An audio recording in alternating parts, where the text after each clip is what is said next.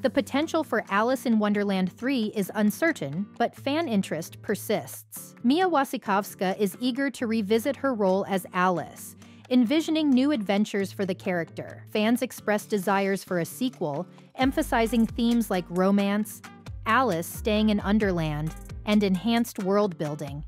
Tim Burton, who directed the first film, is a favored choice among fans, but he has distanced himself from Disney after the challenging experience with Dumbo. The fate of Alice in Wonderland 3 remains uncertain, leaving fans eager for official updates from Disney and contemplating who could best helm the director's chair for the next installment.